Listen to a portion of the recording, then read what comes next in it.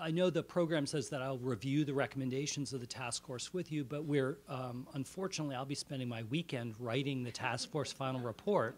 I'm about halfway through it. So um, what I'm prepared to do today is to um, walk you through some of the work that we've done over the past two semesters. We wrapped up our work in June and give you some tentative conclusions from the work that we did. It was a, a great group of about 20 people uh, to work with. It was one of the first task force that I've been on that the conversations were actually fun and creative.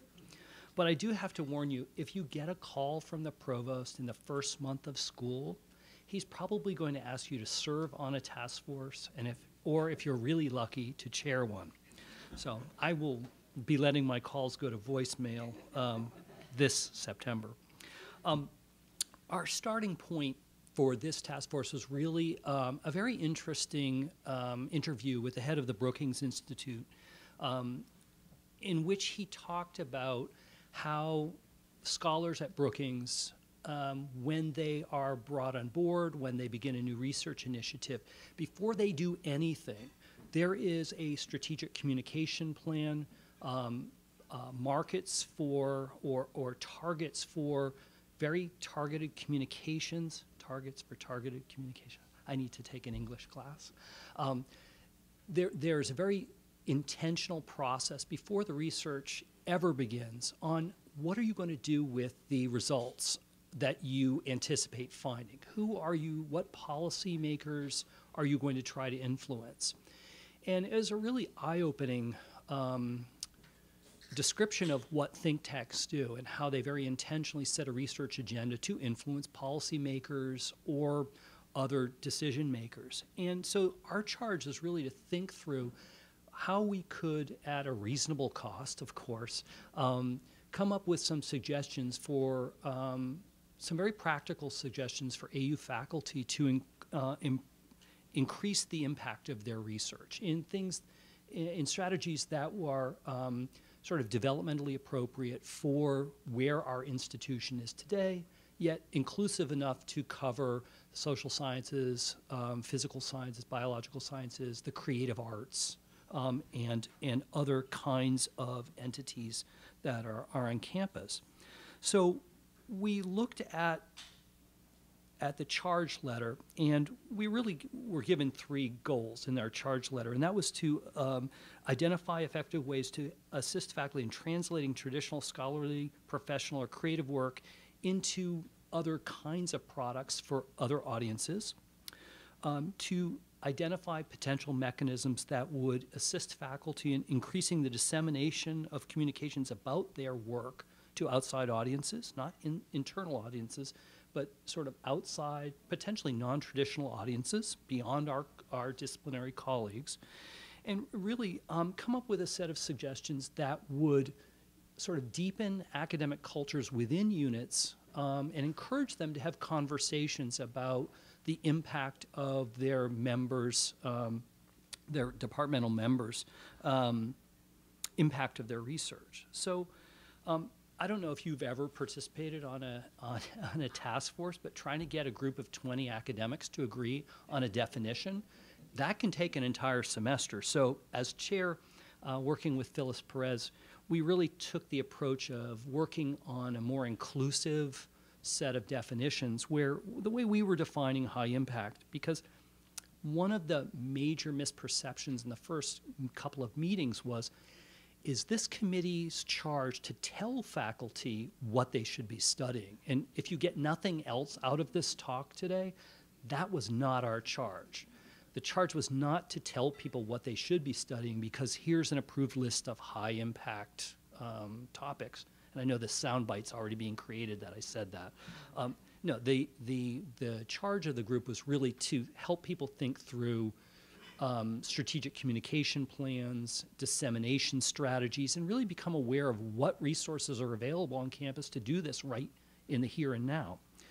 So we, you know, we just we defined once we got over that hurdle, we defined high impact scholarship as really having positive impacts on society, uh, generating new knowledge.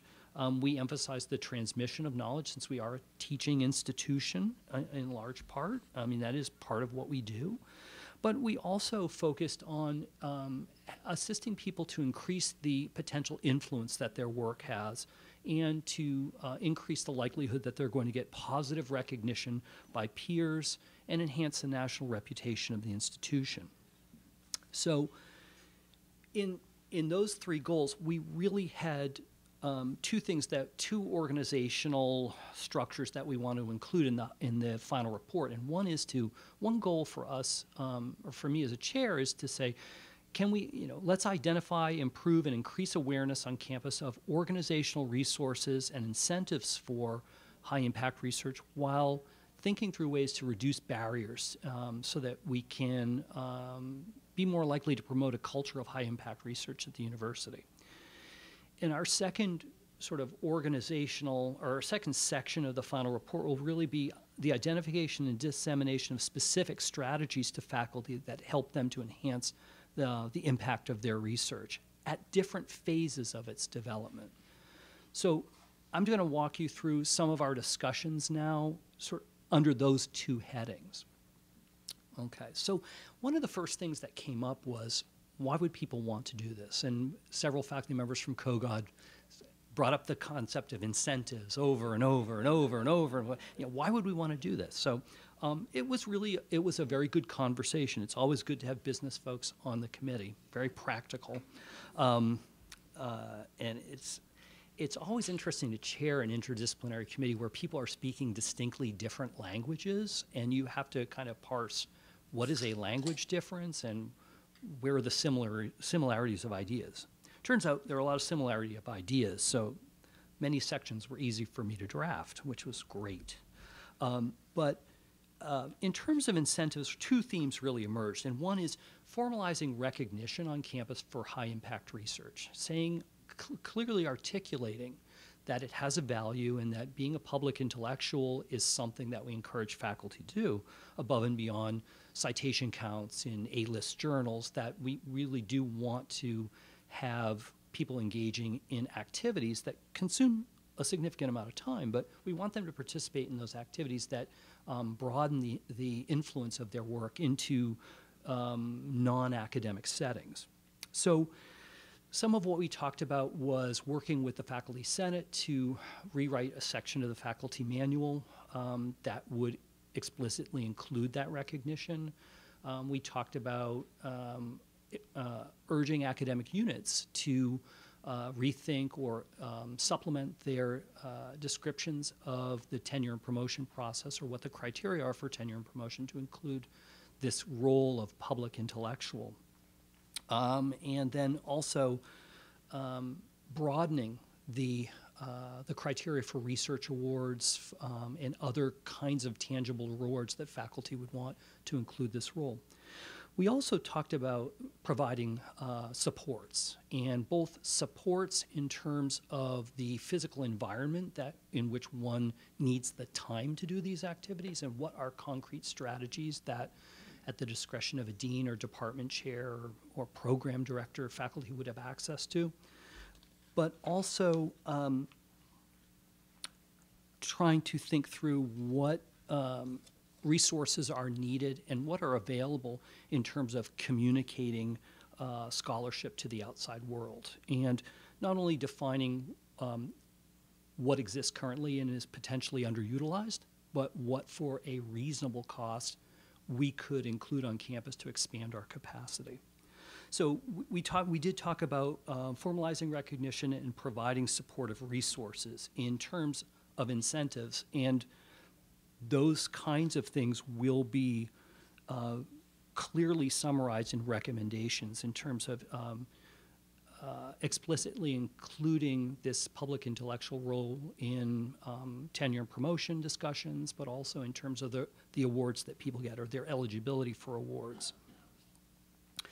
Um, one of the, the second thing that we wanted to do uh, was really to do an environmental scan of campus and talk about what existing um, resources are there. So these really fall into four categories, and and one is the opportunities or the resources that exist to enhance the working conditions in which a faculty member works. And a lot of that has to do with how can you free up time to do these non-traditional activities. And we came up with a list of suggestions that are exists now, but the um, the mechanisms or the decision making for allocating them um, may not be completely transparent. So um, it's an opportunity to say, you know, if you are engaging in this activity, you could be freed up by getting a research assistant or teaching assistant to lighten your load for other things, other parts of your assignment. We also uh, spent a good deal of time um, documenting central, centralized and in-unit staff that are employed by the institution, either centrally or within academic units, to assist faculty to publicize their scholarly activities, as well as um, sort of the gap between the staffing level and the actual need that exists. And, and in doing that, um, part of our report tries to emphasize things that, you know, those faculty who don't get access to a central or unit level resource person to help advertise their work, what other things can we do for them? Um, we came up with a list of uh, existing strategies and mechanisms to improve dissemination of the scholarly work, what exists now. So, for in my case, um, I use ResearchGate uh, pretty extensively. It's a scientific uh, social media thingamajig, but it, you know it sends people your your recent publications, and you can see that they're looking at them, and you actually see who's citing things. It pops up. It's very very useful, much better than thumbing through the social science citation index. So now I'm definitely dating myself. Um, but also um, looking across campus and seeing what what uh, resources are there to assist faculty in um, collecting and tracking their scholarly works, like ORCID numbers, an institutional repository, and what kinds of things could we possibly do. So a section of the report documents what is um, currently there and what people could use. Um, and some of this is really for people who are pretty savvy already with technology and they just want to know where the resources are so they can use them. Um, I have to thank my colleague Stefan Kramer from the library and Fernando Benadon from Arts and Sciences for putting together a, a, a wonderful section of the report that talks about recommendations for additional resources. So now we're moving from what we have to what we would like to have. And so um, not only did they document some existing resources, but really started to think through um, what could we institutionally put together in a centralized way, whether that's a, um, an, a, dedicated web page that collects all faculty publications and makes them available, um, to providing supports that would help people um, attach ORCID numbers to their, uh, their publications or other forms of DOIs. Um, what sorts of services and supports could we offer that would sort of automate um, these aggregate these um, scholarly work aggregation systems so that people didn't have to, faculty members didn't have to take time away to upload different kinds of um, articles or creative works that these could be archived in a way that would speed up uh, dissemination of them to interested parties. We did also spend a, a good time, a good bit of time talking about um, ways in which we could modernize um, and streamline um, web page construction and um, you know do things so people didn't you know the page doesn't get refreshed and you lose everything i see those emails when they fly around the university um, but we spent a lot of time talking about for a, a, a modest set of um, resources how could we automate or provide services to um, link faculty into um, aggregation systems that most universities already have but don't currently exist here. So the final report will um, have sort of a wish list, and we will be making a recommendation to the provost um, in time for the next budget cycle uh, for things that, that we think are reasonable and that faculty would use. Uh, our next we spent a good bit of time talking about an issue um, about the appropriate balance of uh, roles and responsibilities between centralized um, uh, marketing and um, research communications and folks who function uh, as um, uh, web content developers and communication specialists at the um, at the unit level. And um, not unlike a meeting I just left on that, uh, on that uh, exact topic, our committee wasn't able to come up with any specific um, solution to um, ambiguities about uh, how roles and responsibilities at different levels fit together, um, the gaps in capacity between um, the need for this kind of assistance and what current resources support. We weren't able to, to do that, but I think we came up with a list of suggestions, um, or, or, or even sort of, um, we weren't able to come up with um, necessarily a solution for, for example, moving beyond tactics for communication to helping deans and um, centralized marketing and communications think through how to maximize their strategic alignment. So, um, so that marketing and communications, whether it's done centrally or locally, is really expressing what an academic unit sees itself doing and what its value is. So we, we weren't able to come up with any pat answers, and I'm not sure you would expect that in a, a group of 20 faculty, including myself. Um, but we did come up with a, with a number of suggestions that I think will be useful for framing the discussion. So, for example, um, it emerged that there's a lot of confusion among faculty about who is supposed to do what.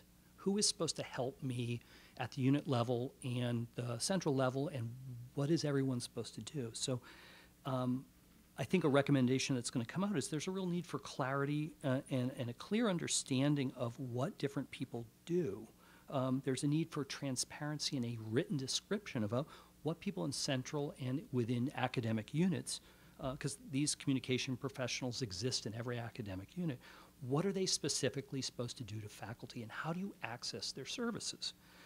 I think one thing that faculty are particularly sensitive about is some people get prioritized for these wonderful media treatments where, for example, a book that's coming out gets a, gets a wonderful press campaign, it leads to an op-ed, it leads to a, a nationally distributed book review, and it really has an impact on the faculty member's career.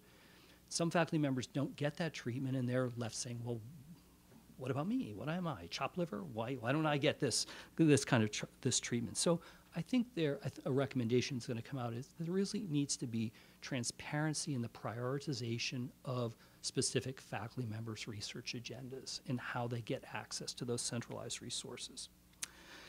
A, a, parallel issue is, well, for those who don't get the centralized resources in this, this um, marquee treatment, what can we do for them to um, facilitate the dissemination of their research because we can do something for everybody. What is an expectable level of services? And one suggestion that I, I would give, having just had my operations go through an external evaluation, is whatever structure is agreed upon between central and local in terms of um, research communications, it should be regularly evaluated by a disinterested external party. That's what I would recommend. We'll see where that goes. Um, so finally, one of the things that we talked about at the unit level, departmental level, academic unit level, was sort of um, a series. We wanted to collect an, uh, a series of um, low profile events that go on routinely in academic units that um, contribute to the intellectual lifeblood of the department and assist people in um, thinking through how to increase the impact in, of their research. And we came up with this huge list of things that are done, typically at fairly low cost. Um, they're done in specific units.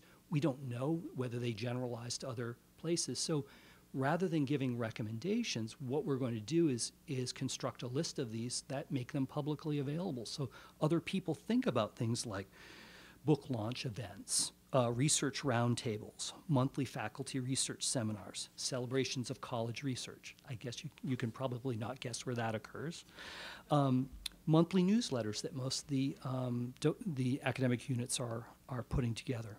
But other things like book incubators, um, uh, academic units purchasing books and distributing them to thought leaders, um, faculty filmed faculty spotlights that are put up on web pages. Different kinds of things that are um, not terribly expensive to do, but can be really entree to getting um, some of our faculty to think through how they want to publicize their works. Uh, we also have um, a number of internal funding mechanisms for people to take ideas, begin to collect data, and move their ideas to the next level. So we have been able to identify a number of things that seem to be working within units. We wanted to collect those and see if we can encourage more units to begin those things, those kinds of activities, and really deepen the conversation about um, how to increase impact of faculty research within the unit. I think when we move into the second half of the final report, my comments get much shorter. I know, thank God. Um, because our conclusions have to be more tentative. For example, one of the first things that we wanted to talk about was if once we identify best practices that are out there, things that really seem to work at different universities, what's the best way of informing faculty about that? We came up with some very old school suggestions. The average age on the group was probably over 50. Um, but we talked about training workshops and web based um, archives, web based resources. But this is where a, a series of uh, town halls or also a conversation at the upcoming faculty retreat will be helpful because I think we'd really like to know what are people in this room or other rooms going to find particularly useful? What, how are you going to be able to get this information? What's a way we could maximize your, um, your ability to access this information? We also um, wanted to come up with um, sort of standard guidance or best practices, if you will, um, or different examples of strategies um, that work in the early stages of project development. Most of what we talked about, a lot of what we talked about was what do people do once a research product is fully formed? what we want to assist people to, who want to do this is having them think through what's a strategic communication plan that I, I start to develop before I collect any data? How do I think through um, and, and, cultivate media contacts um, you know, while I'm doing the project, not once the project's done and I'm, I'm moving rapidly on to the next project. So you know, what we'll do there is provide a list of resources um, from uh, well, you know, that, that have been well received in other places. I think one of the things that we've, we've had a lot of luck doing is identifying compelling case studies of, of high impact, um, uh, high impact uh, events and strategies that are currently being implemented. And many of these are are drawn from specific research centers on the on campus, like the Center for Latin American Latino Studies, um, which has you know sponsors conferences, actually takes paid advertisements to advertise its um, members' research, has its own website, extensively uses uh, social media, has podcasts that they do, and a very active blog um, as well as other um, centers on campus, like the Center for Health Risk and Society, the Center for Congressional and Presidential Studies. We've looked at and cataloged a number of very high impact and sometimes expensive infrastructural um, and um, interactive media um, strategies that they use to uh, publicize members' research. So, one of the things that we want to do is not recommend strategies because what works for different groups is going to be different, but to highlight the effectiveness of particular examples as a way of potentially suggesting that other people might want to look at these at, at these strategies. In addition, I think the law school um, uh, and SIS have a number of projects where they not only um, have been very effective at um, taking the research that faculty are doing and re and translating that into policy recommendations and getting that information out to uh, to thought leaders. Um, but they have also done things like um, uh, either have internal funding or external funding to train faculty to work effectively with the media, to um, have them go into settings where they're working with policymakers to understand what policymakers want and to become more effective at moving from academic settings to um, uh, to policy settings. Jim Goldgeier's um, funded project uh, by Carnegie on bridging the gap is a good example. So we'll be providing examples like that of, of groups on campus that have been thus far very successful at um, navigating between what goes on on campus and external decision-making audiences which really kind of that activity really exemplifies what we're talking about. Um, wh- that's one example of how one increases the uh, research impact or the impact of, of uh, the types of research that we specialize in here at, at, at AU. I think just in closing, I want to say that one of the things that we we discussed was, well, are there any negative consequences of participating um, bring uh, uh, in um, activities to increase one's research impact? I mean, taking on this public intellectual role, and and many of the faculty on the committee um, expressed concerns that if faculty members get too involved in this these types of activities too early in their career, it may have a detrimental impact on tenure and promotion um, uh, actions. And so, um, you know, that's one thing that we, we are going to highlight in the report. But we also are, are um, in discussions made aware of um, a series of, of conversations that are going on in SOC where um, unit wide there are discussions in the different programs there about what are the expectable what are, what are appropriate expectations for faculty members at different stages of their careers for the impact of their research and how would you assess that? So that's a good example of an academic unit on campus which is having uh, tackling these issues very proactively and setting expectations and really trying to deepen their academic culture. And we're including that as an example that others may want to follow so um, just to give you an idea of where we are, I think our timeline for moving forward is to uh, wrap up the, the draft of the final report maybe this weekend, um, depending on how fast I type. Um, but certainly in the next week or so, we'd have a full draft of the final report.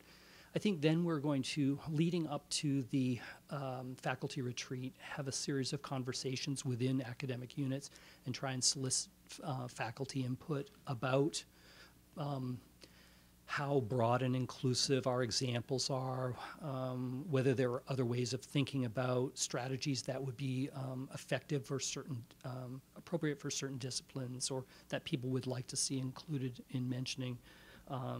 I think there, there'll be sort of a comment period generally. We'll roll out the full report at the faculty retreat, and then probably, I don't know, set up a working group depending on um, whether people allocate resources or not, to start taking some of the recommendations and, and, and, implementing them. But a lot of good conversations with a lot of very bright people from di- different disciplines. I'm looking forward to seeing some of these recommendations be put into place to assist the faculty of the institution um, better communicate their research and affect the, um, the audiences that they want to affect. So that's kind of where we are now, and, and we'll see where we go from here. But I'm happy to answer any questions that you have about the process or what we're doing on the, on the project. Was there any discussion about providing media training for faculty members uh, who desire to be interviewed? Um, I know that, um, I was asked to repeat it with the microphone, excuse me. Was there any discussion about providing media training for faculty members who wish to do interviews with the media? in a discussion that I was in just before I raced over here, um, I know there's one academic unit on campus that is working with all its incoming faculty and younger faculty to train them to work with the media. My understanding is that there's no there is no opposition centrally to finding the resources to provide that kind of training for faculty who want it. I haven't heard anyone say they think that would be a bad idea.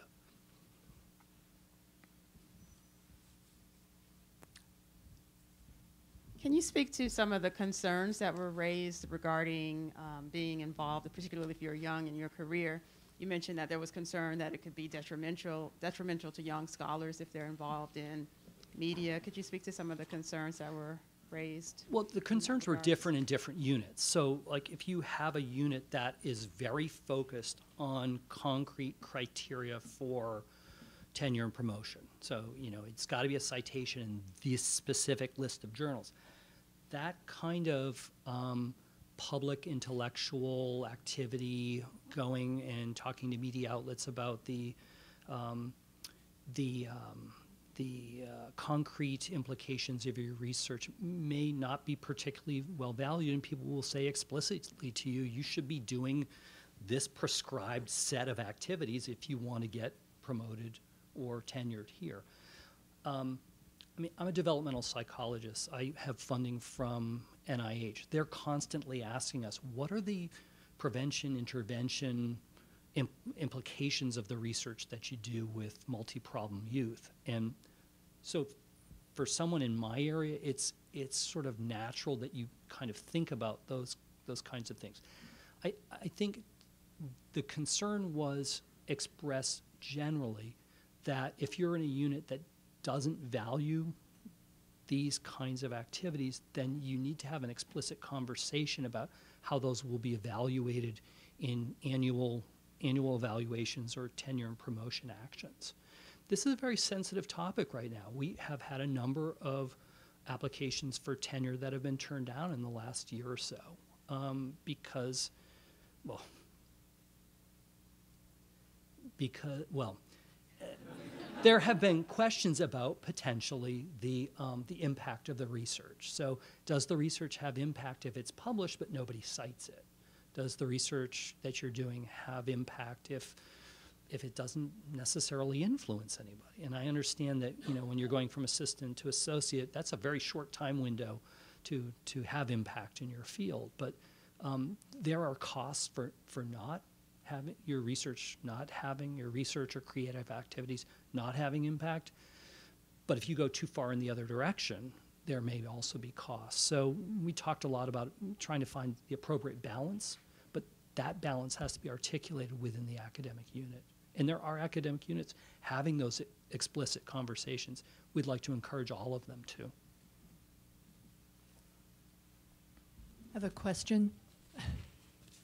Um, if you could pick three of, well, it's a magic wand question. If you could make three of the recommendations that you anticipate coming out of the report perk to the top and get President Kerwin really excited about them, what would those three recommendations be?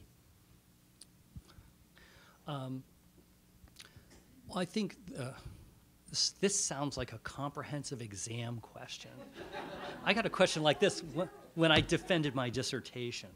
Um, I'm, having PTSD moment here. Um, well, I think rather than reinvent the wheel, um, the recommendations I would like to see, I, I'm not a fan of over duplication of services at multiple levels within an organization, although there seems to be a fetish for that at AU. Um, what, what I would say is that it would be great. What one recommendation I would like to push forward is if we have underutilized services here that are effective, what can we do to get people to use them? And I think um, uh, Stefan Kramer in the library has been um, diligent about identifying resources that people in the library that people wouldn't necessarily think are are even relevant to what they do. Um, I, I would like to see more of an emphasis on intentionality and getting people to think about their their research and their creative activities in a much more strategic way. And I, I'm not sure how to do that, but my colleagues have some concrete um, examples. I think also, um, and this might sound, this is sort of an icky concept in some academic environments, but I think we have to be explicit about prioritizing what we want to push forward and identifying areas of excellence and marketing them because that is what, in many ways, brings in and attracts both undergraduate and graduate students, and that's what attracts um, our next cohort, our next generation of faculty of the institution. And um, many universities try to be good at everything. Um, uh, you know, we're, we don't have, we're not a huge land grant institution. So what are we, what are we choosing to push forward? And, you know, that may be tied to AU 2030. It may be tied to other kinds of research initiatives, but I, I, I'm not convinced we do the best job possible in marketing some of the excellent work that our faculty are doing, and I'd like to see um, a, a more holistic approach to doing that. I have a question. Um, back here. Um, so at my last university, we had a public relations office which facilitated press releases. So when you publish new research, you could contact them, and then they would do a press release for you. Do we have anything like that here? Absolutely, but that question exemplifies one of the problems on campus. Faculty don't necessarily know what's available. We have a centralized marketing and communications operation called UCM, University Marketing and Communications. They placed, I think, in the last year, 800 media placements. They do a fantastic job at placing um, uh, announcements about what faculty are doing. If you go to the research page on the AU website, you'll see some of the products that they've produced, and some of them have been phenomenally um, effective at moving somebody's project from not being very well recognized to getting a national platform. Um, but we also have things that are done within the academic units, you know, development of web content, um, uh, sort of grooming faculty to work with the media, grooming faculty in terms of a story that's coming down the road six months from now, setting up a pipeline of stories. And then there are, are very concrete services that are offered either within academic units or service operations like the library that anybody can use. You know, setting up a, a profile on ResearchGate, you know, to get your research out there to people that you've, you've already linked to. Um, but there's, we do have centralized marketing, we have unit level staff, and we have a lot of resources that people don't know about because they're not sort of collected on one place. Where if you have a question, you know, there's an FAQ about like, how do I get my book noticed? Or how do I get this exhibit that I'm doing or this recital? How do I get this out there? Um, there's no one place to go to find out what's available to assist you in alerting the, the audience that you want to target to what you're doing. Let me chime in with a perception, um, having been on the faculty some number of years, about how I think a number of the faculty members see themselves vis-a-vis the media. All you have to do is look at our buses and see every how many seconds is one of us out there on the news. But often that's in response to somebody from USA Today, somebody from Associated Press, somebody from KQED, or whatever it happens to be, somebody saying, hey, do you have a good resource here on campus? And the university for many years has done a superb job, better than most universities, in getting us to be experts out there in the field. What we haven't over the years done as good a job at, and we haven't given faculty a mindset for, is saying, here are the things we are creating. Here's what our research is about. And now, can you help us get the word about what we care about? Mm-hmm. Not what they're doing a story on, but what we care about. How can we get that into the news? And I know this transition is happening, and there's some wonderful things that are taking place. But one of the transitions, I think, has to be in the minds of the faculty themselves about what their role is in switching who's in the driver's seat. Exactly. I think that's a wonderful observation. I mean, it's your intellectual property. Who do you want to have consume it? I mean, it's just like in graduate admissions. Do we want to, on a yearly basis, just see who applies and pick the best ones by sitting around with a bunch of paper files around a table? Or do we want to go out and recruit people?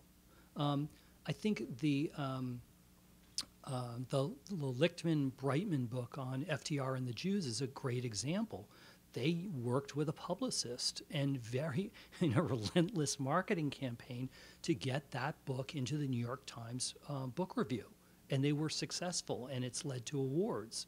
But they were very strategic about how they did that. Now that cost a lot of money to do, and not everyone can do that.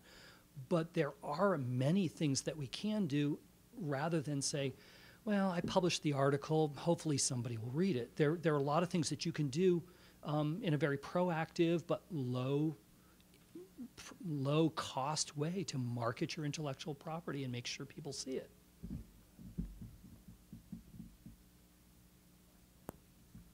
So at this point, what I would like to do is have all of us thank John Tubman, John Tubman, the one we knew and the one we have now come to know, um, for uh, giving us, I think this is the first public sneak peek, Yep, a is. sneak peek on what's happening with this high impact research. Yeah, and I think we'll be trying to not have this be a report that dies a dusty death on a bookshelf somewhere.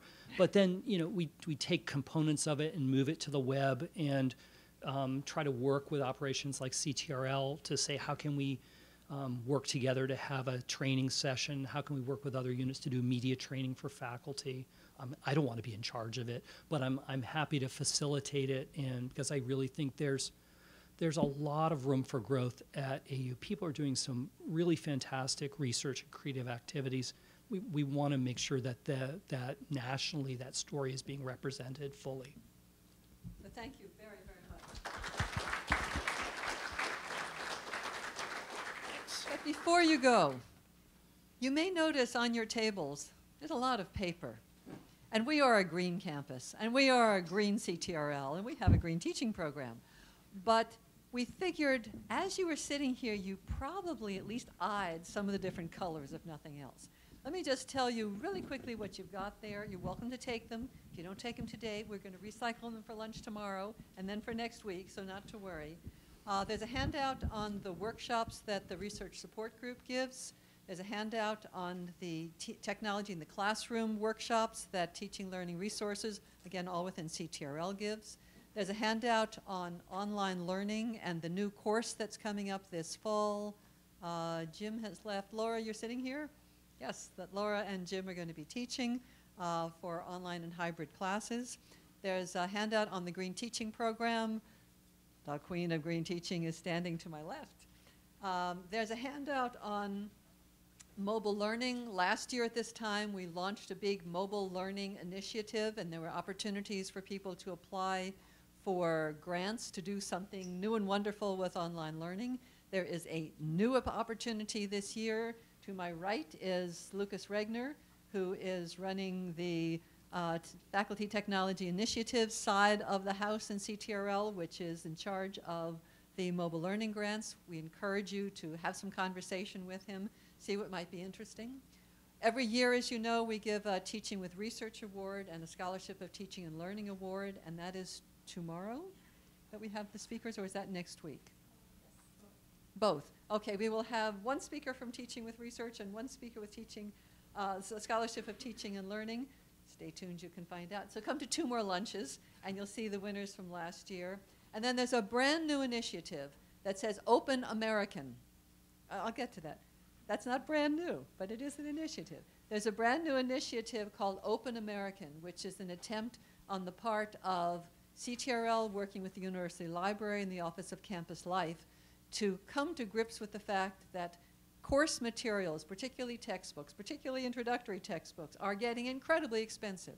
And what are the kinds of resources we can draw upon, or maybe create ourselves, that will lower the price but up the amount of learning that goes on. So there's a flyer that describes the new program. Um, Lucas, once again, is the person to get in touch with. We're going to be launching this initiative at the uh, faculty retreat and in various other contexts as well. But if you have ideas, funnel them his way. Eva- Okay, but, but Marilyn has a flyer that we didn't get out onto the tables, but it is uh, our second year of the Ann Ferren Curriculum Design Award, which is uh, generously made uh, possible by, yes, Ann Ferren, after whom the Ann Ferren Conference is named. Uh, and it is for looking at how you take the principles of general education and incorporate them into the curriculum in the major. So we had one team winning it last year from environmental science, and the competition is on. So we very much look forward to yours and those of your colleagues' uh, applications. And now, I have my own mic. You Thank you. Um, all of you were given a small evaluation form when you entered the room. So if you have a minute or two, um, feel free to fill it out and drop it off in the box by the exit. Thank you. And thank you all for coming. We look forward to you enjoying the rest of the sessions today, all day tomorrow, and then again next week. And I hope to see you for lunch as well.